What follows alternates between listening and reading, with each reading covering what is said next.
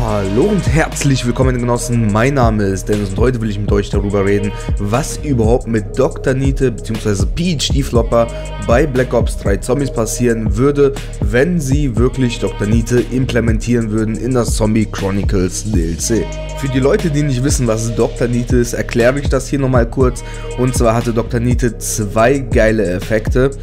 Und zwar, wenn man einen Hechsprung gemacht hat, dann hat man so eine Art kleine Mini-Explosion für sich errichtet. Alle Zombies um einen herum, wo die Explosion hochgegangen ist, sind gestorben bis etwa Runde 20. Das war ein ziemlich cooler Effekt.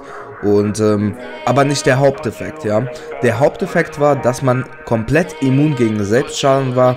Das heißt, man hatte keinen Fallschaden und man konnte zum Beispiel neben Granaten stehen oder Granaten in der Hand halten, ohne Schaden zu bekommen. Im Prinzip gibt es nur drei Möglichkeiten. Und zwar, die erste Möglichkeit wäre, sie tauschen das Perk aus.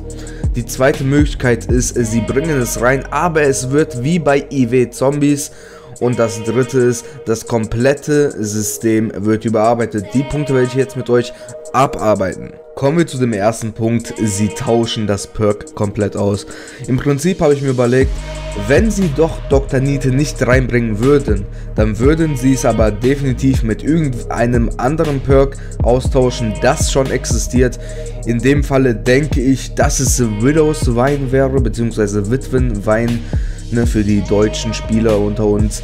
Auf jeden Fall denke ich wirklich, dass wenn sie es austauschen würden, dann würden sie es mit Widows Wine austauschen oder vielleicht mit Electric Sherry.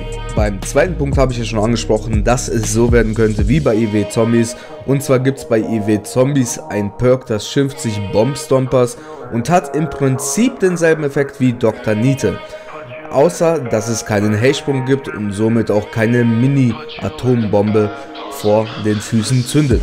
Aber ansonsten hat es den gleichen Effekt, das heißt du hättest mit einer Explosivwaffe vor die Füße schießen können, ohne dass du Schaden erleidest. So könnte ich mir das auch vorstellen, dass sie es in dieser Richtung implementieren, ohne den Hechtsprung. Im letzten Punkt habe ich angesprochen, dass das System komplett umstrukturiert werden müsste und damit meine ich einfach, dass wenn man sich das Perk kauft, Dr. Niete, dann auch Hechtsprünge machen kann, aber dadurch dann dieses Rutschen verliert. Ich zum Beispiel fände es nicht gut, wenn man dadurch das Rutschen verliert, weil ich mich sehr an das Sliden bei Black Ops 3 gewöhnt habe.